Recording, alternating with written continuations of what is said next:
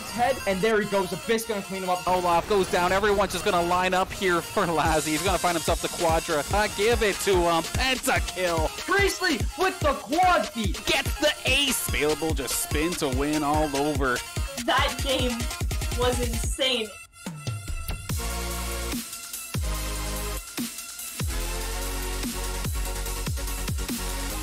Well, we didn't expect that we were going to be at the end here today, but hey, we got ourselves some Hearthstone action. A little bit of a switch up in plans, but at the end of the day, looking like a nice matchup here in some nice Hearthstone. Of course, my name Dan Banner, also known as Mr. Danners, and alongside me here, dropping as much knowledge as possible, we've got Shoddy once again here. It's been a long time since we got some Hearthstone on the same stream. You excited, Shoddy? It has. It's been quite a while. I believe the last time we tried to do a Hearthstone cast, actually, uh, there were some unexpected cancellations. So uh, even longer than what we had originally anticipated. And it is a good day to have some Hearthstone because they've got some new updates on the horizon, and it's going to be kind of like rounding out uh, this rotation for the guys. It's going to be the last, uh, I believe, or one of the last games that they're going to be playing on the Madness of Darkmoon Faire patch. Right. Before the new patch drops at the end of the month. Uh, that one's going to be really exciting. There's a lot of really interesting changes coming up there. So I'm really excited to see how this team kind of rounds out the season. Uh, we're going to see some decks that, if you're a Hearthstone fan or a Hearthstone player, you're probably familiar with. Um, but teams might be trying to experiment with some things as they're getting ready for the new patch, testing out some cards, seeing what they might want to transition into as we hit March 30th. You know, I know that may not necessarily per se to tonight's action, but uh, what are some of these? Uh, like, do you happen to know some of these changes that will be coming to Hearthstone? Apparently, it's like a, an overhaul of some sort compared to some of these just like uh, set add-ons. Yeah, absolutely. I'm flaking on the name right now. I believe it, it's like uh, oh man, you know what? I'm not even going to try to guess at it. I don't want to get caught lacking. Uh, but there are definitely a couple of big uh, mechanical changes that are coming out with this new patch. So we're looking at obviously new cards, a new card set. So that's going to get rotated into standard. Uh, there's going to be addition of a new keyword uh, frenzy. So the first time a unit is damaged and survives the effect, the text written effect occurs. So we are familiar with cards such as Enraged Berserker or whatever that have similar interactions where when they get damaged, something happens. This is going to be like a big effect, but it only happens once. So slightly different, but a similar mechanic to that. We're looking at the uh, the introduction of ranked spells, which are similar to evolving spells. So, for example, something like Hagatha's Scheme, or when it sits in your hand, it increases its power per turn. That only evolves when it's in your hand. These ranked spells are going to be slightly different. They'll increase in power even if they're located within your deck. Once you hit a mana total of five and then ten, uh, uh, consequently as well, you're going to have an increase in power at each of those stages. So ranks one, two, and three on each of those types of spells. Uh, and to go along with some of those spell changes, we're going to be seeing a lot of these new mercenary type units that interact with spells of certain classes. So spells that you might be familiar with, something for example such as Holy Smite, is gonna you're gonna see on the new patch. It's gonna say Holy at the bottom, and you might be thinking, what? Why does that matter? Well, now you've got all these units that do stuff when you play a Holy spell. So uh, really interesting kind of dynamics in relating your units to your spells. So as opposed to just finding spells that fit with the style of deck that you're using, you're also going to be able to kind of like do like tribal spell decks where you're running units that also correlate with the spells that you're running beyond just mere card synergies. So it's going to be really interesting and dynamic, and it's something that I'm personally a fan of. I love tribal style decks. So being able to run like a hunter deck that also has like hunter spells that are like specific to like beast hunting, like that's like right up my alley. So I'm super excited for this new patch. Definitely going to be interesting, of course. Maybe a, perfect time to uh, hop into Hearthstone again. No, personally, I haven't really taken a look at it for a little while personally, but at the same time, uh, why not start off fresh? And definitely going to be looking forward to that. Now, that being said, just currently trying to hop on into our first match here. Now, you had mentioned that it seems like the Saints seem to have a little bit of a pattern with some of the decks that they run. Um, can, would you be um, able to break that down a little bit for us? Yeah, absolutely. I mean, we've seen this team play a number of times throughout the course of the season. If you guys were here in the fall, you may be familiar. I was actually playing for the team in the fall, and we got. I had to get used to a very new style of play. I like to play aggro, uh, face like low cost units, like just really put the pressure on the enemy. Um, the style that my team prefers, however, or the current team now, they like to do these more control based decks. So more uh, mid range control angles where you're mostly trying to control the state of the board through the use of spells or units that have battle cry effects that will take like either remove enemies or deal damage to enemies, uh, just to eliminate the enemy board state.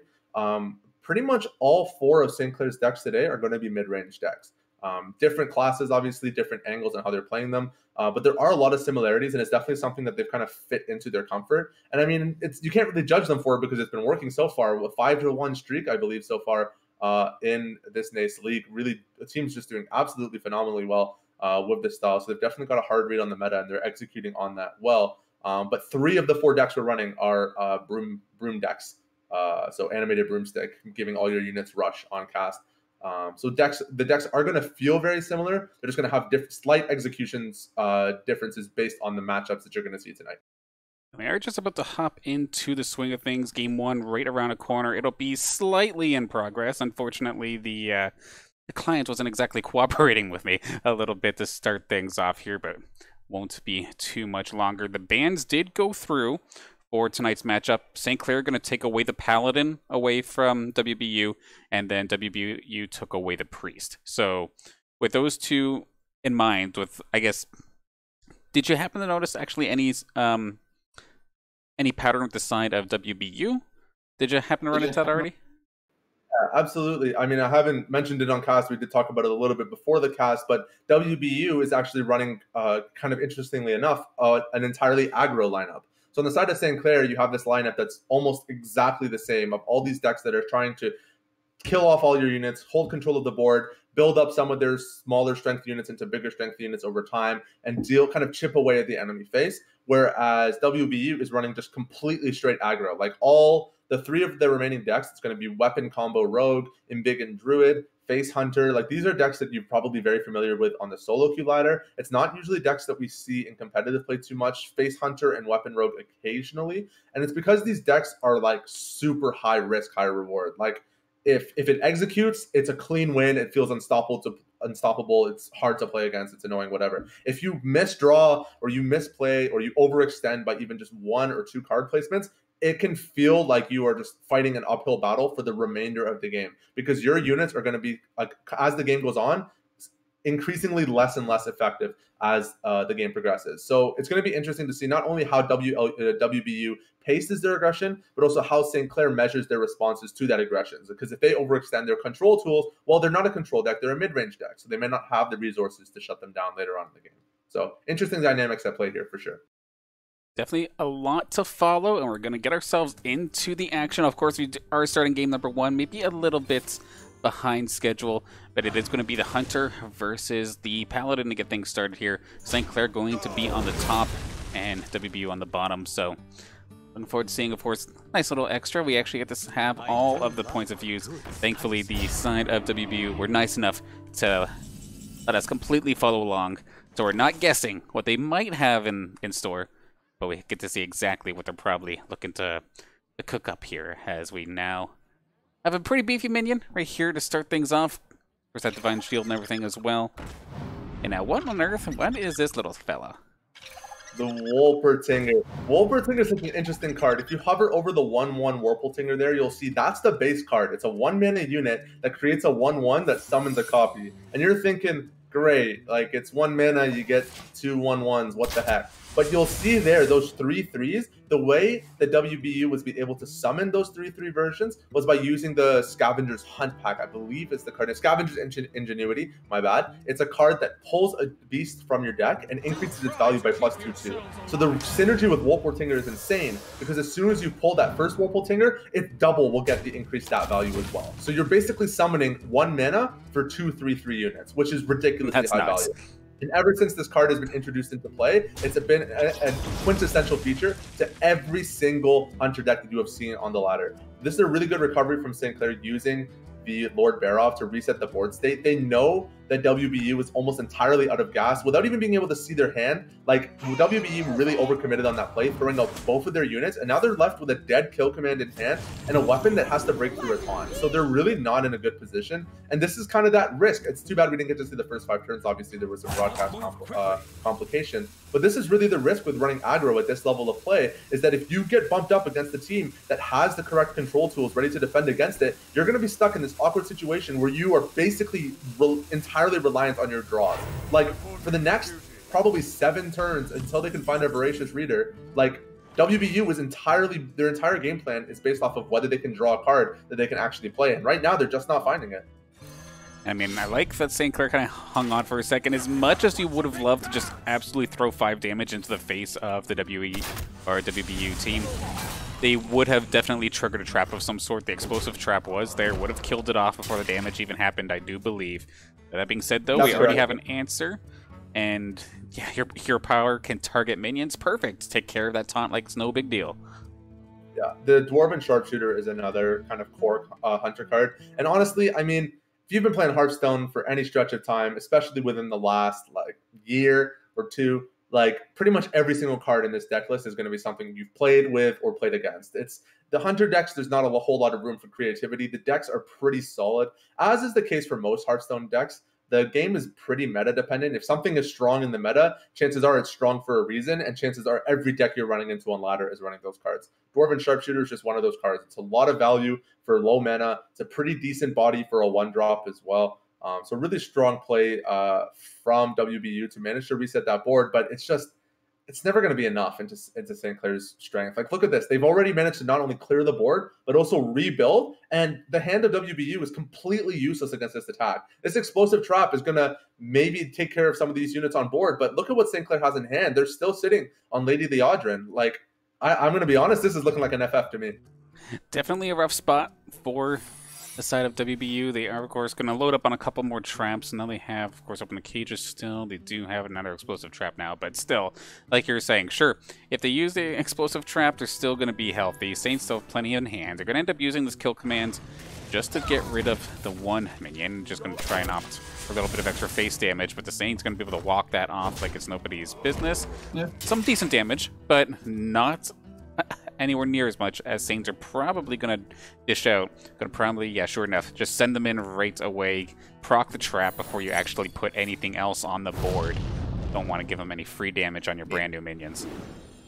Danners, I don't know if I like that play from WBU. They kind of put them, they actually misplayed super hard. The Lord Barov was already going to kill off the 1 3 as soon as it attacked. That 2 damage from Explosive Trap would have done 2 damage to everything on board. And then the Lord Barov execute would have done an additional 1 damage. So they really just threw a kill command at a 1 3 unit. That's a hard misread to make when you're already in such dire straits. And now St. Clair shouldn't have too much of an issue closing this one out, summoning that pen flinger into the first day of school. Just a nice little one damage tap to get that play going. Refill this board, get set up. Like this, this, this one's over and out in about two turns.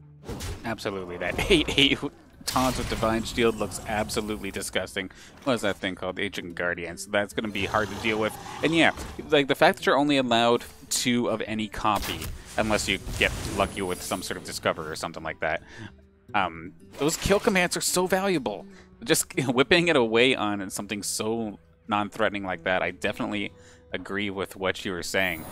Makes perfect sense. Freezing Trap, going to send one thing back to the uh, back to the top, but now Saints just love playing around this little pen flinger, just constantly doing a little bit of poke damage over time, and it, it just looks rough here for the side of WBU.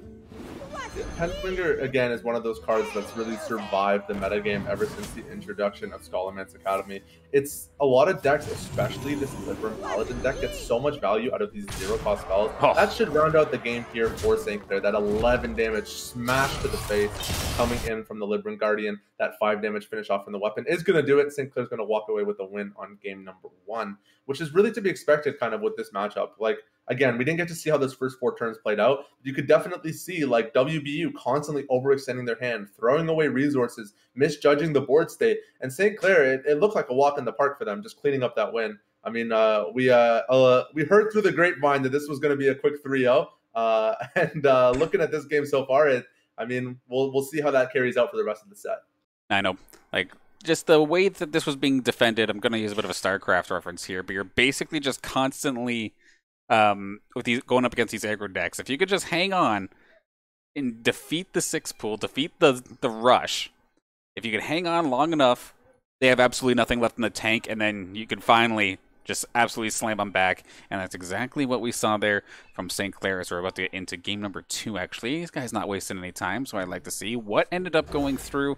Of course, Saints did end up winning on that was their Paladin, so no longer have to worry about that one, it looks like. See if this ends up working here. Yeah. not quite gonna work, but That's we'll see. correct. Once that deck gets a win, it is off the table entirely. So St. Clair no longer has access to that Paladin deck. They're going to have to round the series out on their Warrior and Demon Hunter decks, respectively. Now, WBU taking a much more tempered approach. They have the Southsea Deckhand. They have a number of one drops in hand, but they want to preserve those cards for combo value. And St. Clair going to take advantage of that open space, getting down the uh, the Sky Raider to start generating some pirate value in hand. It's a great one drop unit because it helps you refill your hand. You're not really losing out on much. You're just getting yourself some nice damage on board. WBU is going to summon the weapon. I don't even know if they're going to attack here. They might just hold onto it and preserve that weapon charge. They do have the Vulpera Toxin in hand. They decide they want to use it for some defensive board clear.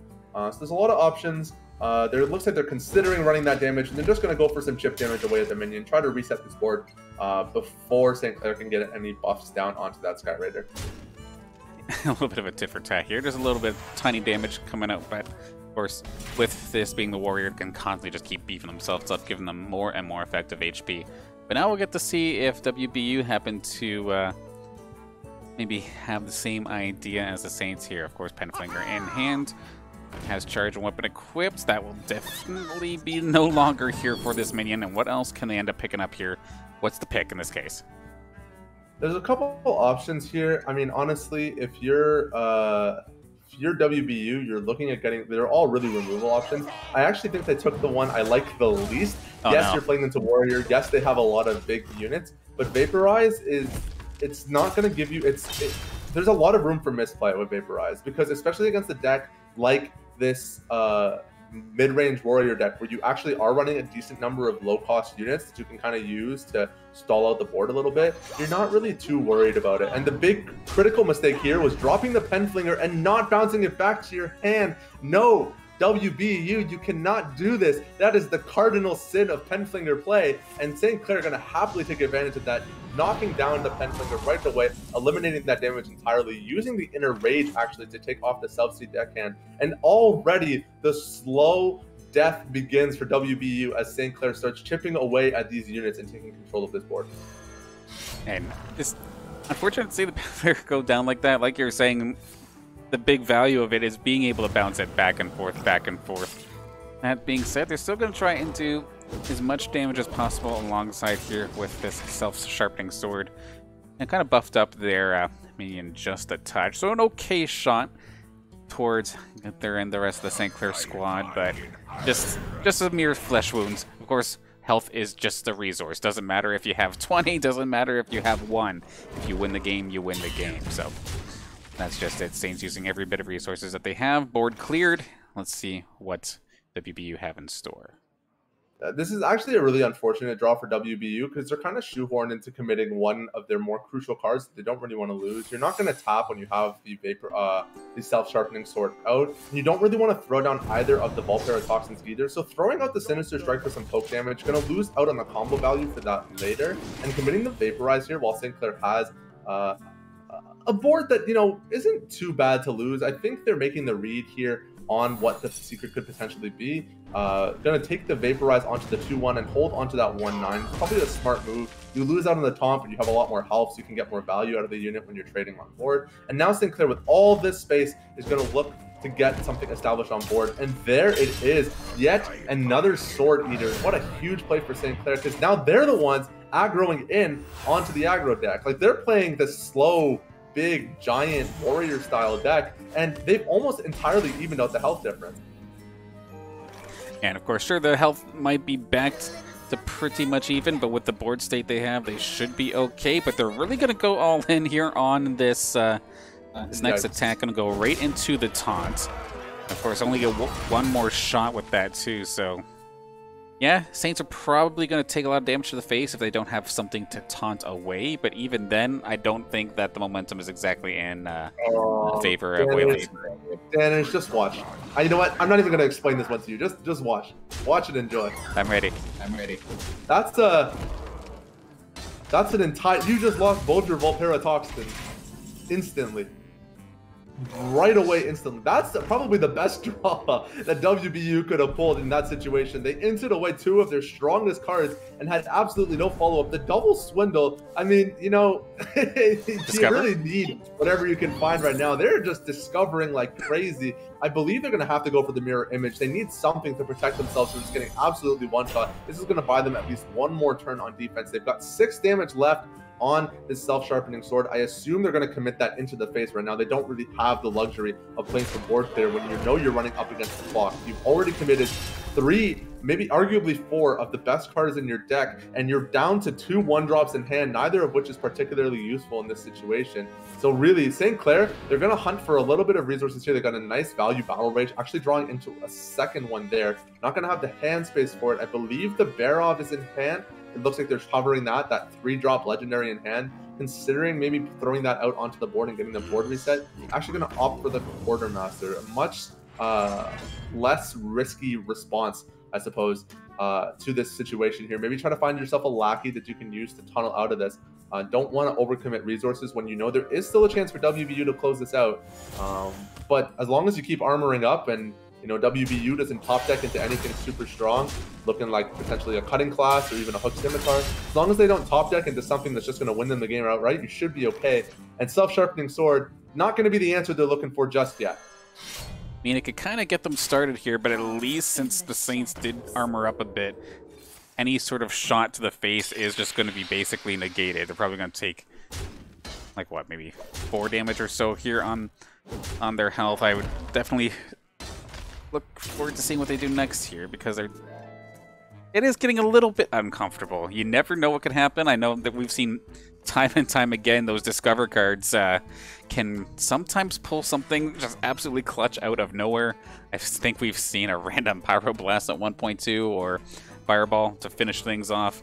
But it's Rogue. It You can still pull Mage stuff, so I'm still nervous. Hearthstone could happen, or Hearthstone things can happen at any moment here.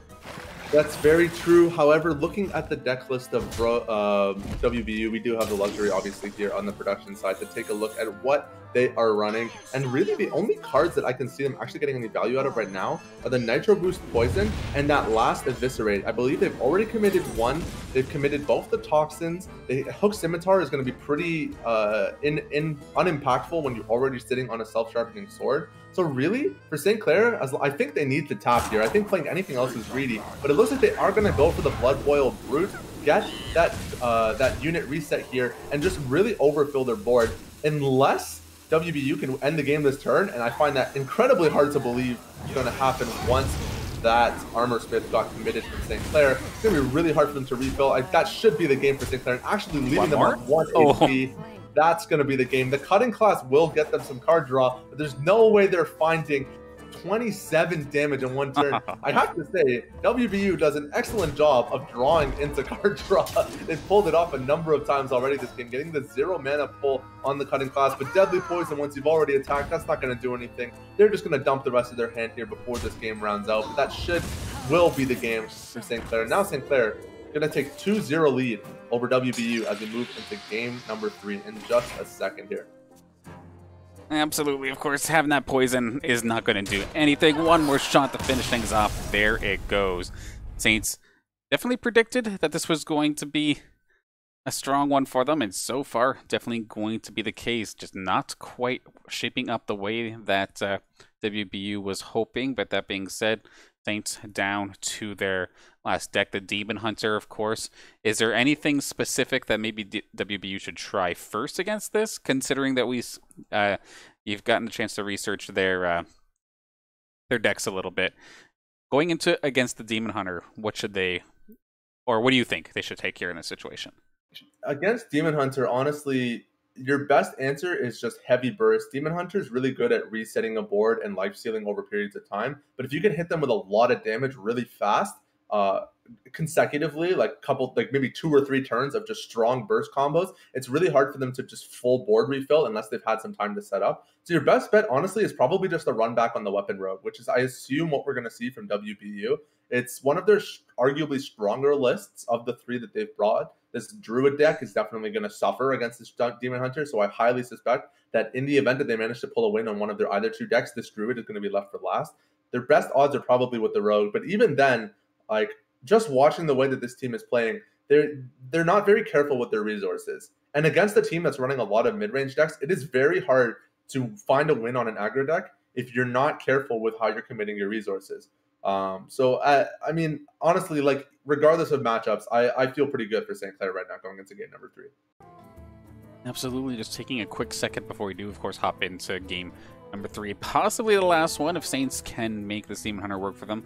But before we do hop into it, of course, big thank you to the sponsors that make this all possible: St. Clair College, the St. Clair College uh, Alumni Association, and St. Clair's SRC, Zekelman School of Business and Information Technology, PC Outlet, and Tim Hortons. Thank you all for supporting us here on the St. Clair Saints Varsity Esports team course, big thank you to everybody who's tuning in as well. Of course, we, like I was saying before, we don't exactly get Hearthstone on stream very often here on the Saints side of things, but it's still good to see the support coming on out here for the squad. So thank you all for joining in. And of course, still plenty more action to come here tonight as well. This one is just the first. As long as there's no reschedule or forfeit or anything of that sort of crazy shenanigans, we should have some CCL Call of Duty right around the corner was to... Okay, getting some questions here from the players. So I'm going to quickly deal with that, but... Trying to think of a question or something for you, but I'm honestly, I'm not sure. It just seems very dominant for Saints right now. For Saints. There's not much to talk about in this game, Dennis. I'm not going to blame you for that. It's, I mean, it's exactly kind of what you expect from a team that's performed so well in the league, playing against a team that's, you know, really trying to cheese victories. Because that's what face aggro decks are. You're trying to win before the other team can find the cards that they need to respond to. Um, and so far for Wayland Baptist, that just hasn't happened. And I mean, there's really it's kind of all said and done at that point. If you can't find the responses, if you're you're getting countered at every turn, like it can feel really hard to play aggro into a lineup like St. Clair is bringing.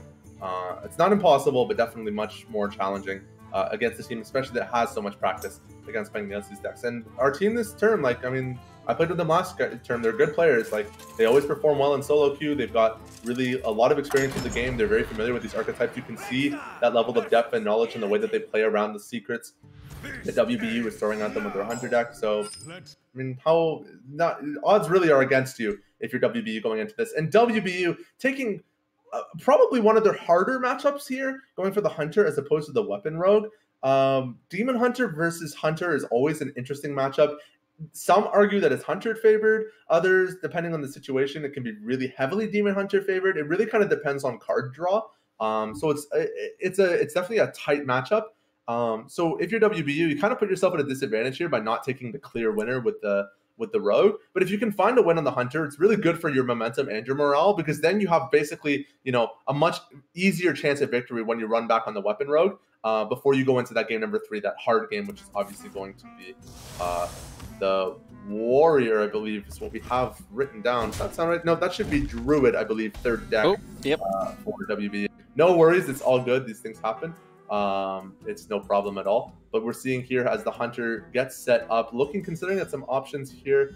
Probably going to go for the Warped here to just space out your aggression. That 1-3 Dwarven Sharpshooter, I mean, it's one damage, sure, but you're getting double the damage by committing the Wolpertinger for really the same level of commitment. So no reason to hold that card. Probably just going to dump that here on this turn. Yeah, there it comes. There it is. So now you've got two damage on board. And obviously Demon Hunter can clear off one of that just by tapping. Uh, but at least you're providing two times as many threats uh, for the same mana cost. So it's just mana efficiency, really.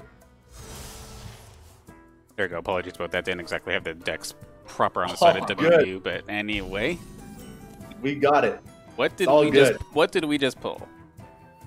Ooh, Moarg Artificer. Uh, not the card we drew into, but I'm happy you hovered it. This is definitely one of St. Clair's more uh, interesting cards in their deck. It's a very popular card. This isn't a new tech if you're a old Hearthstone fan. For, for those of you joining us in chat that may be brand new to the game, unfamiliar with some of these deck archetypes that you're seeing, Moarg Artificer is a huge card in a lot of these Warlock and Demon Hunter style decks. It doubles the damage on your spells. So let's say you're running this Demon Hunter deck and you commit a Lifesteal spell that's going to do two damage to two random minions and then also heal you. You're getting double the value on the ward clear as well as double the value on the healing as well. So even though it's a two drop unit, you're usually looking to save it for those mid game, late game scenarios where you're kind of looking to just refill face uh, and get set up for your own attack. The fact that St. Clair already has it in hand, along with a number of spells, is really good because it means that they can kind of overextend a little bit in the early game, take some more face damage because they know they'll always have a refill later on.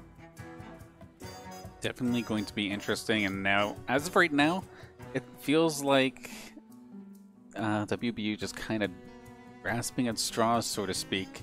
Granted, it's still very early. What are they going to end up coining out here?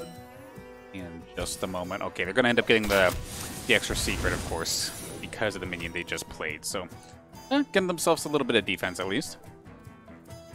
Always good to make sure you get that tap down after you commit the Phase Stalker. You never want to be stuck in a situation where you've played that card and you don't get your secret out of it. If we could actually get a look at what that secret was, maybe see some value uh, that WBU pulled the, for themselves. And they opened the cages is probably one of the better draws they could have had for themselves in this situation uh, because now it makes any unit they put on board twice as threatening for St. Clair. Because not only are they dealing with the current threats, they're dealing with the risk of a potential additional threat that could be something like the Misha, something like the Hogger, um, something like the Leokk. Like any of those animal companions are just hugely impactful, especially if you already have a board already established. But unfortunately for WBU, the draw is not on their favor. Finding both of your voracious readers when you're already kind of in a situation where you want to dump cards first, it's not what you're looking to draw. These cards are usually better as a late game find. So St. Clair, I mean, they've got a two win advantage already, and then they're just top decking better than WBU is. It's just unfortunate to watch, really. Uh, barely pulling themselves a health advantage right now in the early game, and now St. Clair has an opportunity to establish a board state of their own. Okay, what do they end up following up with? They're not going to actually follow up with anything, of course. Well, they only had the one minion uh, mana left, so it definitely does make sense. But still, dropping the 4-4 uh, on the board for 4, so a little bit threatening. But that being said, will take a little bit of damage if they do opt to attack into it next turn. Get to see in just a second what is uh, the move for the side of WBU. Of course, they do have the Hunter off to the left here that can turn that um, turn that steady shot up against the minion if they really wanted to, putting it to the point where they would uh, kill themselves if they hit the explosive trap. So I think that's what they're going to actually end up doing summon a random demon companion, a little bit of one that buffs them up a bit. That will do. Nicely done. Yeah. And That's slowly building the board. Really strong pull with uh, the random demon, demon companion. It's such a great card to pull, and it has such excellent synergy with a lot of the cards found in the hunter deck, especially the Wolpertinger. If you can manage to get down, oh, I can see uh, that with the Wolpertinger, it's uh, just a brutal start to deal with. Uh, and this this play from WBU is probably one of the best plays they could have pulled. It, it's really hard commit, but when you're sitting on double voracious reader, it's okay to be a little bit more um, careless with your hand state. You really need to get yourself on board, especially in this matchup. Uh, so for St. Clair, yeah, they're gonna they're gonna lose the four two, um, but the bigger issue for them is dealing with this board before that animal companion triggers. If WBU is able to get that animal companion trigger, there's this next turn is going to hurt like a truck. So St. Clair, hopefully they've made the read on that. They have a number of ways of dealing uh, with the board that WBU has to offer, and that's actually going to be the explosive trap getting triggered by the unit there. Now the Mo'arg Artificer comes down. They know that the situation is safe. Likely going to look for the spell burst. Actually, the Ethereal Augmerchant to give it some additional spell damage. Now watch this, Danners. This is going to be exciting to watch. Getting all of that healing. Look at that, 9 healing on face. Because you did 3 damage to every single unit on board. And that was just, that was an easy, that was a soft play. Right. Just wait for what it looks like when they're going in heavy on WBU's board. Like, it is just such an awful day to be uh, WBU into St. Clair today. It's just rough because every card you play, St. Clair has an answer for. Yeah, I mean, at least they're going to be able to get themselves a couple more cards before their uh, next turn. But yeah, the fact that things were able to clear that up nicely just makes things that much more difficult. Granted, still a little bit of time. They still have a couple resources available. We do, of course, see an outcast card. Is that just a specific typing, or is this a different mechanic that I might not be necessarily aware of? So typings would appear on the bottom of your card very similarly to where you would see Beast or Elemental. Those haven't released yet. Those will release at the end of the month. What we're looking at here with Outcast is just a keyword that maybe you're not familiar with. It did release, I believe, with the Ashes of the Outland set, which is about three patches uh, or three releases ago, rather. And uh, Ashes of the Outland introduced uh, the Demon Hunter class as well as the unique Demon Hunter keyword Outcast, which is basically if you play a card on either the far left or the far right of your hand, it gains an additional effect. So Demon Hunter has a lot of interesting mechanics where you're not just playing cards because they're valuable to the situation, but you're playing cards because you're trying to set up your hand in a certain order so that you can get value out of those outcasts. Probably the big, biggest example of this would be the Skull of Gul'dan. That six drop card that will draw you three cards and reduce their cost to zero if you manage to get that outcast. If you can get that reduction to zero, it's absolutely huge. And this is actually a nice draw for WBU because they're able to double Felmaw into the uh, Voracious Reader, but actually gonna go for the freezing trap. Don't really think you have the luxury to go for a slow play like that. I think you need to just refill your hand and take advantage of the space you have. But it looks like WBU knows it's their last Voracious Reader. They don't want to commit it until they're absolutely positive they need it. But I mean, what better time, than, it. time than now? What better place than here? It's just, oh, gosh. I, I feel bad casting this game, Daniel. I, I don't want to say that, but I do because I'm just, it's just watching a massacre. It's like, I don't know. I, I don't know how else to describe it. It's just, it's rough. it's so rough, man. Very well might be the case. I know, especially coming f- or initially playing in the Hearthstone side of things, you're probably like screaming in your head, like, "Why are you doing this this way? You should do it this way," or anything like that. But one thing I'm curious Oh. about: this thing is not touchable by both players. What does this necessarily need? So you just can't use these things at all for two turns. So the value of a dormant unit, and, and I'm not gonna lie, it's definitely something that like took a while to kind of grasp, even from my perspective, because I play a lot of aggro. So I'm like, why would I want to run a card that I can't use for two turns if I'm trying to kill them really fast? Mm-hmm. Well, you'll want to you'll want to use it when it's a five four that automatically deals five to whatever on board.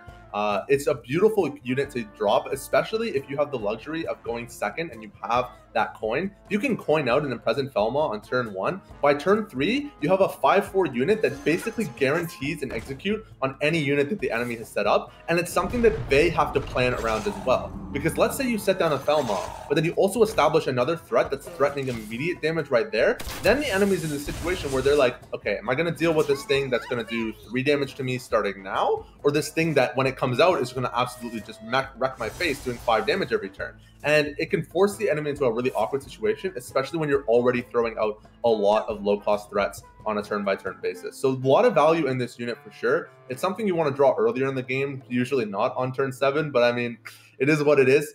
Uh, uh, Wayland Baptist. I mean, they're gonna they're gonna find it now, but uh, not sure how much value they're actually gonna get out of it. As St. Clair is sitting on a quite decent hand here, quite a few tools on board that they can get some value out of. They're still sitting on a second spectral augmentator, and I believe there are some more life steals in hand as well for them. So really taking a little bit of face damage this late on in the game, it's eh, I mean it's it's not that big of a deal for them. They don't need to worry about that too much.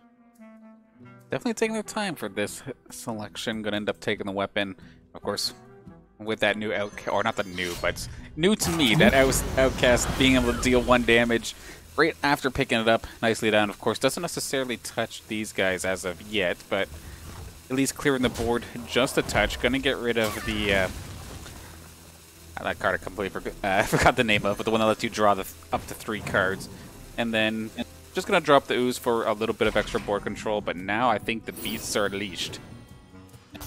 True, and this is why I like this play from. Clair. They were originally considering dropping out uh, the uh, silencer. I'm totally blanking on the name as well. You know, you got me all messed up. Like you're forgetting names, I'm forgetting names. It's a it's a scuff stream today, but it's all good. We're having a good time.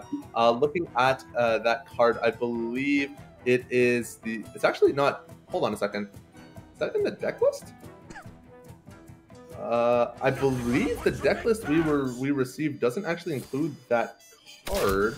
Interesting. Can't remember the name of it right now, but it's all good. It's no big deal. We'll figure that out later. Um, but they are going to be running uh, that silence card, and they actually managed to hold it and commit the second ooze. They know they have one ooze in hand. Unlikely they're going to need both to round out this game. And as many units as you can put on the board into the imprisoned Felmaw is huge because the Felmaw can actually automatically target your face. So if you have more units on board that could tank that damage, it means you're avoiding a potential 10 damage burst uh, to your face. So really wise choice from St. Clair to just split the board, go as wide as possible, absorb as much damage as you, as you can from that RNG wake up attack. Uh, and now St. Clair's in a perfect position to just use some low cost removal and wipe out all of these low HP units on board. Yeah, when the highest thing in regards to the health is just the the hunter with the um, three health, anything could basically melt this board. Uh, at. Just matter of saying what kind of order the Saints want to do this for. Of course, we're now at the point where everybody gets 10 mana, so lots of big turns could, could be possibly right around the corner. That being said, though, I think it's going to go really hard against WBU, considering they're going to have, like, what, three cards in their hand at any given moment. Saints, of course, saving much more of their, their cards in hand, and looking like we're about to get moving here. And to charge on in here with this 5-3, a little bit more right around the corner. Let's see what happens. Yeah, you can already see St. Clair setting up that combo they like so much with the Ethereal Augmerchant. They don't actually have the Mo'arg Artificer in play right now, they are going to get a lot of value out of this life steal here as they get the spell damage. It's going to give them a nice little burst here. That 2 damage healing to all of its neighbors. It's going to wipe the board, refill nearly to full, and now you're oh. sitting on 2 dead kill commands. You've got a oh. Scavenge Ingenuity though. You actually do, but it looks like they're actually just going to commit the kill command onto the 5-2. It's just I don't know. I'm, I'm watching the way WU's piloting this deck, and there's so many better plays that they can make, and it kind of feels like they're just like throwing it away. Like you're sitting on a guaranteed beast draw, you still have tap available, you know you're sitting on another Phase Stalker, you could potentially hunt for a secret. Like, yeah, it's none of these plays feel good, but throwing your kill command at a 5-2 when it's basically the only win condition you have left in your deck, it's just like I don't know. It just feels like they're digging their own grave, really, with some of these plays. It, it's just the the short-term relief of being able to maybe not take 5 damage next turn because you can take it away. But at the same time, like, they used it, but what the hell? Okay, they didn't have an explosive trap, but they could have stalled out here with the freezing. They're gonna do it now, but... Imagine if that was the uh, the 5-2 going into it. You'd still be safe, and you'd still have your kill command in hand, so... Granted, Saints could have tried to call that out at the same time, but... Now, one little extra poke, and looks like the the ooze may be coming into play as well. I'm thinking twice, still have lots of mana.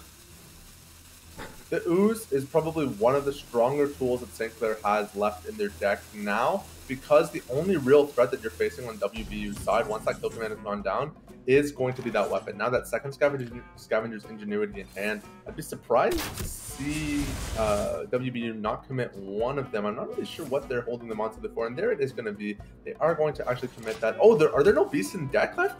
Danners, I think I miscounted. There's no, oh, no. That's so awkward. That's, actually horrifying there for the side of WBU. Here I am thinking that maybe it's going to discover a beast for you, but no, it's whatever you have left in the deck, and they have absolutely nothing apparently. Rough spot for WBU to be in.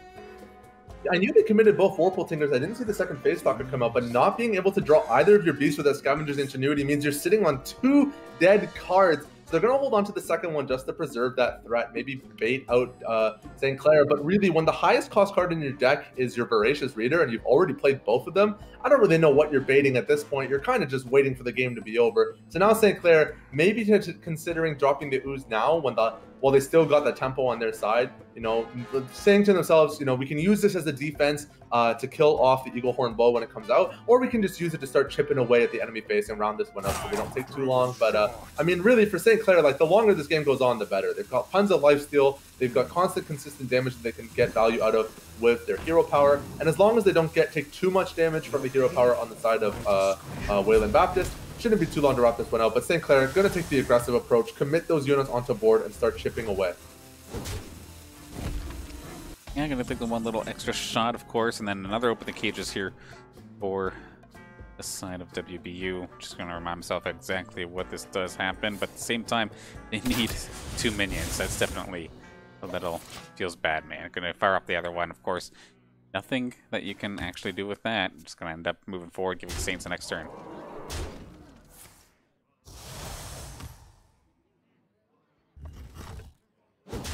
The defenses are built. Everything that WBU has just might as well just be banging your head off the wall. So definitely a feels bad man kind of moment.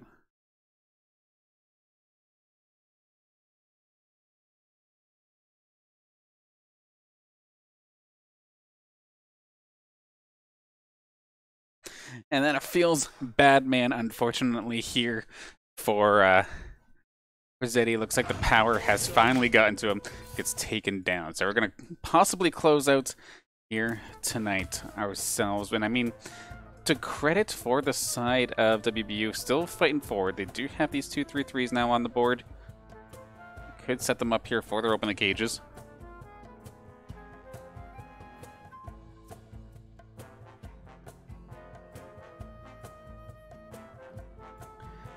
Legendary on deck.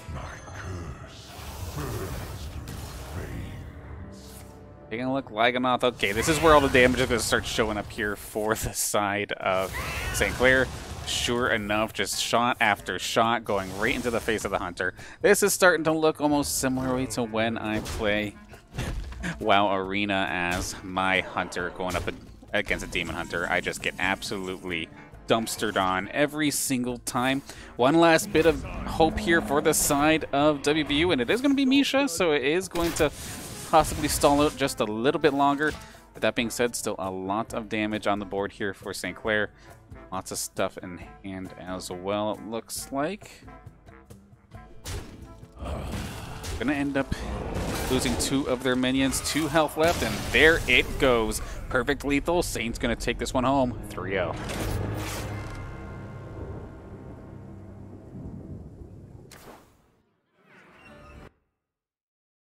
Now, of course, with that, that is going to be Saints taking this one in 3-0 fashion. I mean, it's kind of what uh, what Coach Ryan did kind of predict was going to end up going down here.